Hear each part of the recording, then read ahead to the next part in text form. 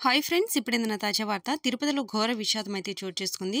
So దీన్ని బట్టి భక్తులు కూడా తీవ్ర భయంలో అయితే ఉన్నారు. ఫ్రెండ్స్ వీడియో ఇన్ఫర్మేషన్ అంతా కూడా మనం పూర్తిగా తెలుసుకుపోయే ముందు వీడియో మీకు నచ్చితే లైక్ చేసి మన ఛానల్ని సబ్స్క్రైబ్ చేసుకొని వీడియోని స్కిప్ చేయకుండా చూడండి.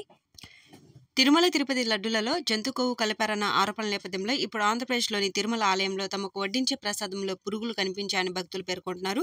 అయితే ఆలయ బాధ్యతలు నిర్వహించే ట్రస్ట్ తిరుమల తిరుపతి దేవస్థానం ఆ వాదనలు తోసిపుచ్చింది. ఈ ఘటన బుధవారం చోటు చేసుకుంది. ఇది ఆమోదయోగ్యం కాదు. ఇది టీటీడీ అధికారుల నిర్లక్ష్యానికి అర్థం పడుతుంది అని పేరు చెప్పొద్దని కోరిన ఒక భక్తుడైతే అన్నారనమాట బాధ్యులైన వారిపైన కఠిన చర్యలు తీసుకోవాలని మేము డిమాండ్ చేస్తున్నామని కూడా ఆ భక్తుడైతే అన్నారు.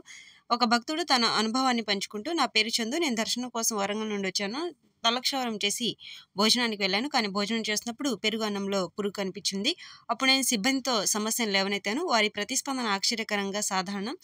కానీ ఇది కొన్నిసార్లు జరుగుతుంది. ప్రభుత్వం మారినప్పటికీ కూడా ఈ సమస్యలు కొనసాగుతూనే ఉన్నాయని అన్నారనమాట అయితే ఈ సంఘటనలను ఫోటోలు వీడియోలతో డాక్యుమెంట్ చేసిన తర్వాత అధికారులను సంప్రదించారు. పరిస్థితిని తగ్గించడానికి ప్రయత్నించారు. వడ్డించడానికి ఉపయోగించినటువంటి ఆకు నుండి పురుగు వచ్చిందని పేర్కొన్నారు. ఈ నిర్లక్ష్యం ఆమోదయోగ్యం కాదు. పిల్లలు లేదా ఇతరులు కలుషిత ఆహారం తీసుకుంటే ఎవరిని పట్టుకుంటారు చందు అని అన్నాడనమాట అయితే విషయం బయటకు పొక్కడంతో ఆలయ సిబ్బంది తమను దూషించి భయపెట్టేందుకు ప్రయత్నించారని భక్తుడైతే ఆరోపించాడు. వారు మమ్మల్ని దూరంగా పెట్టారు. ఇది చాలా ఆందోళనకరమైనది. ప్రభుత్వం కఠిన చర్యలు తీసుకోవాలి. మేము భోజనం చేస్తున్న సమయంలో మధ్యాహ్నం ఒకటిన్నర గంటల ప్రాంతంలో ఈ ఘటన సంఘటన అయితే జరిగిందని చంద్ అయితే తెలిపాడంట.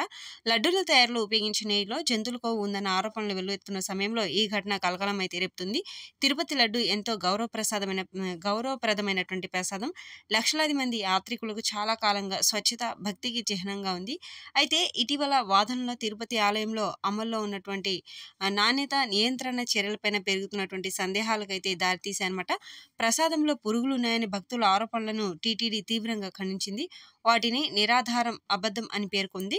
ప్రతిరోజు వేలాది మంది భక్తుల కోసం ప్రసాదం తాజాగా తయారు చేయబడుతుందని కీటకాలు ఉండే అవకాశం చాలా తక్కువగా ఉందని వారు చెప్పారు. శ్రీవారి దర్శనానికి వచ్చే వేలాది మంది భక్తుల కోసం టీటీడీ వేడివేడి అన్నప్రసాదాన్ని సిద్ధం చేస్తుందని ఆహారంలో పురుగు ఎవరు గమనించకుండా పడిపోతుందనేది నమ్మశక్యం కాని వాదనని ఆ ప్రకటన అయితే పేర్కొందనమాట.